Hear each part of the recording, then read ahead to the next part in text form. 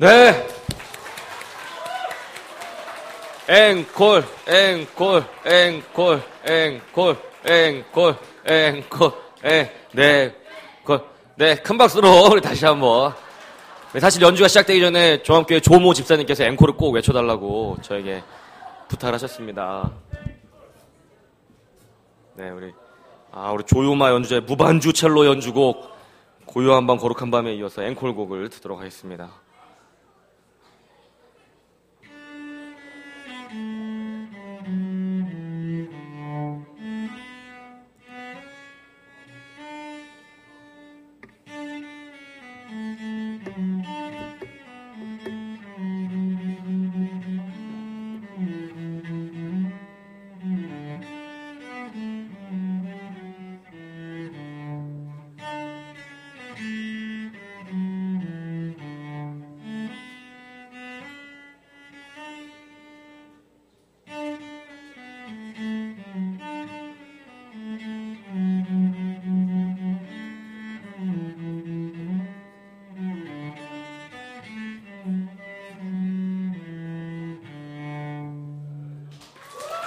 네, 우리 큰 박수로 우리 조민서 어린이 격려해 주시기 바랍니다.